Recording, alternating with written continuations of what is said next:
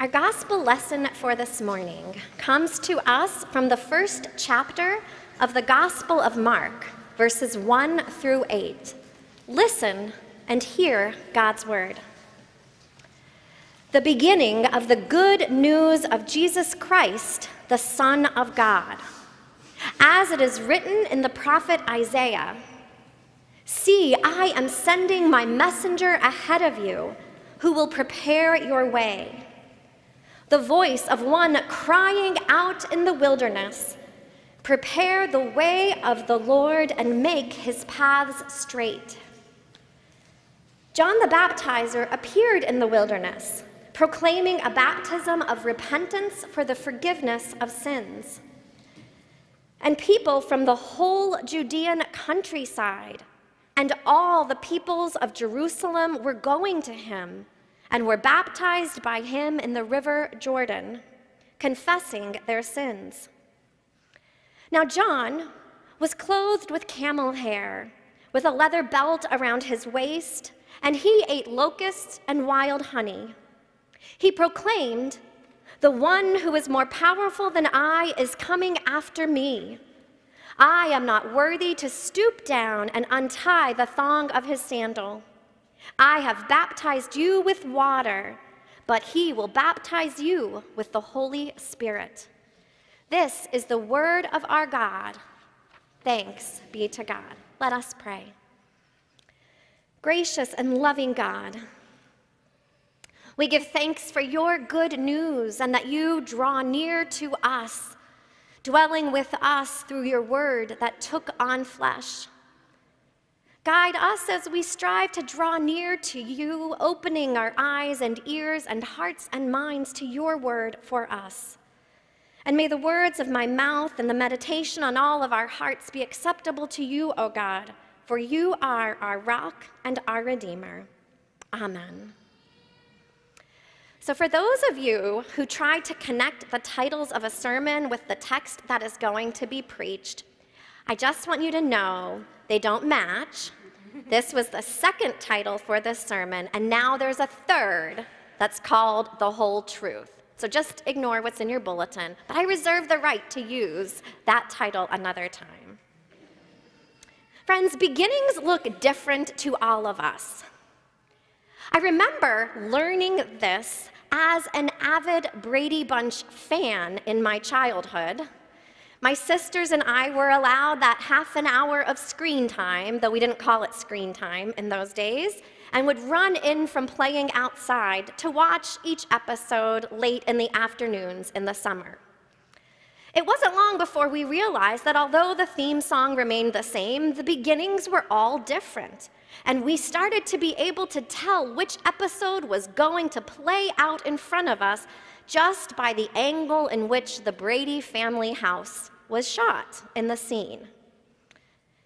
Beginnings look different. I've heard that I was born on a snowy December Saturday in the morning following a Duquesne basketball game that the night before. My own child was born after three days of waiting and waiting and waiting and waiting and waiting for him to come. Just about six in the afternoon, one spring evening. By the time we got home from the hospital, we saw that the, the earth had changed. The grass and the trees were green or full with buds. A new season had begun. Beginnings look different, even in our Gospels. When I was in seminary, I learned these little tidbits I'm about to share with you, and wow, I thought they were exciting. So I hope that the little Bible study you're about to hear is as exciting to you as it was to me. Beginnings look different even in our Gospels. The beginnings of each of our four Gospels do not do more than just introduce us to Jesus or to his earliest days of his life. Each of the Gospels make it clear that each author wrote each Gospel with intention and had a different approach to telling the story of the good news. each author providing us a different lens through which we might see Jesus. So, Matthew, Matthew wants the readers of his gospel to see Jesus as the new Moses, as the one who has come to fulfill the law and the prophets, the one of whom the prophets foretold.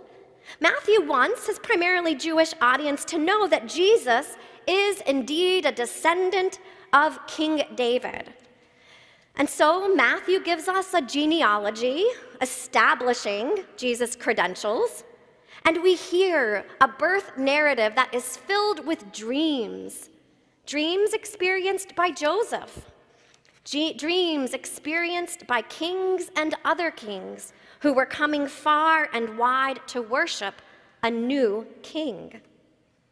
Now, Luke, on the other hand, wants us to see that Jesus is a liberator, one who has come to not only set people free from their own sin, but also to set humanity free from the sins of others. Luke paints a portrait of a Messiah who welcomes the outcast, who aligns himself with the marginalized, and who disrupts the status quo. And so Luke gives us our first introduction to Jesus through Mary, a poor young girl whom God has chosen to give birth to the Messiah. Angels speak again in this story, but they cry out to women. They cry out to shepherds who are sleeping in fields alongside sheep in the middle of the night. And then there's John, who tells us about Jesus not through stables or dreams or even the guidance of angels. John tells us of a light, a light that entered the darkness a light that was so bright that no darkness could overcome it. Luke tells us of a word, a word that puts on human flesh and dwells with humanity so that all would know that God was and is with us. And then there's Mark. Mark writes his gospel first with a message of redemption that is so urgent that Mark skips over the birth of Jesus altogether. Mark lets us know that Jesus is coming, but he does not entertain any speculation or any sentimentality about how Jesus got here. He cuts to the chase. He picks up the call of the prophet Isaiah and gives it voice through John the Baptizer, who cries out as a voice in the wilderness once again The Messiah is coming, he is almost here.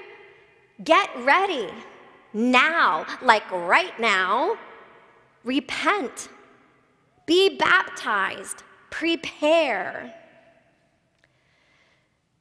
Now, I admit that it is a little disorienting to me to break the chronological trajectory of our Advent journey and jump to John, the baptizer, when Jesus hasn't even been born yet. Liturgically, John will show up again in just a few weeks in our calendar. And although Mark doesn't say anything about dreams or brave decisions and long journeys, he kicks off the story of Jesus' life with John. It seems strange to me to go forward so that we can just go back and get to Bethlehem. But John, like the prophets of every age, are clear. We have got to be ready. John, John in Mark's gospel makes it clear that the Messiah does not just do the Messiah's work by entering the world, but that God's people must do our work too so that the Messiah can be received by our hearts and our lives. In order for this to happen, we need to make space to welcome him. We need to let go of the baggage that hinders us. We need to repent of our sins, surrender our suppositions, our systems of power to which we submit, and engage in the important work of receiving our Savior. So, Mark gives us a beginning that begins with John. We need to pay attention to this odd character in the wilderness, wearing camel skin and a leather belt and picking locusts out of his teeth, before we can ever find our way to Bethlehem. Mark's gospel is disorienting. I know it's disorienting to me as I try to make space in my schedule and my life to do the things that are required of me to make Christmas happen as a mom or a wife or a sister or a daughter or a friend, and yes, even as a pastor. There are first grade holiday concerts and high school carol sings. There are lights to hang and a tree to decorate, and thanks be to God that tree is pre lit. There are pajama days at school, and who has to find school worthy pajamas? You guessed it. There are pageants at church, candles to be ordered. There are traditions to maintain in new ways. There are texts exchanged among sisters to make sure that someone is ordering the oplatki that we eat on Christmas Eve, because dad was the one who used to do that, and he can't do that now. I love these preparations. I love how they make me feel. They make me feel connected, connected to my family, connected to my church, connected to my God, even as I am tuckered out and tired by the middle of December and plan to take a good nap tomorrow afternoon to get through the rest of the month. I also just love making the world a little more beautiful. I love making people feel a little more loved. And I love focusing on the incarnation of Christ Jesus this beautiful offering of God's own self for us by putting on human flesh and dwelling among us, experiencing the humility and the vulnerability of humanity. That gift of God's fills me with awe every time I tell the story. Whether, like Sarah said, it is during a conventional Christmas season or a part of any old day of the week. And then on this second Sunday of Advent, John cries out for repentance. John reminds us that this life we share, the life that Christ shared with us, it's a messy one. Kind people hurt other kind people without even knowing it cultural and governmental systems use power in ways that are just for some and unjust for others. And we get swept up in the ways of the world, whether we notice it or not. And then John cries out like the prophets before and says to all of us, hey, stop it. Repent, confess, be baptized, get ready God is coming. It is this type of preparation to which John invites us that truly gets our hearts ready as individuals and as a community to receive the gift of the coming of the Christ child. One commentator writes Mark teaches us to see God by looking to Jesus. But in order to understand Jesus correctly, Mark looks back to the prophets of Israel. He sees them then looking forward in anticipation of God's intervention. And when Mark stands with them and looks as they look, he sees John the Baptist in line with them and looking in the same direction. So as Mark looks at John, looking at Jesus, he sees himself in perspective. And so, with eyes trained by the prophets to look repentively and trustingly to God, then Mark invites us to look for Jesus too. So we look for Jesus. We look for Jesus here at church. We look for Jesus in the hymns and the songs and the prayers and the lights. We look for Jesus in Scripture and in our community together. We look for Jesus in our world, for a glimpse of the Christ child in our daily lives, for an assurance that God is with us here and now still. And the beginning of Mark's gospel reminds us, as another commentator states, that the beginning of good news it happens in the middle of nowhere and not in the center of power. The good news of truth and justice for all will be cried out by the prophets willing to accept all. The truth will be known in the outskirts, in the unexpected places, in the spaces where boundaries have been crossed and that needed to be torn down long, long ago. And so Mark reminds us that the beginning of the good news happens too within us. I guess I have to admit that as disorienting as this is, I love that this is our lection for this Sunday. Just moments ago, the children of the church told us the good news of Christ's birth and yes, they were dressed as sheep and a star and angels and shepherds. You know the cast of characters, they were all here. Matthew and Luke's gospels were read by narrators. And yes, the teenagers had their PJs on to tell the story. And baby Jesus was played by Veda. And then, as we lit two candles of our Advent wreath, a reminder of that promised light in John's gospel, the light of Christ that would come into the world, a light that will never be overcome by darkness. Charlotte and her moms lit those candles too. And then Veda and Charlotte were baptized here together. Two beautiful children who have not yet seen their first Christmas.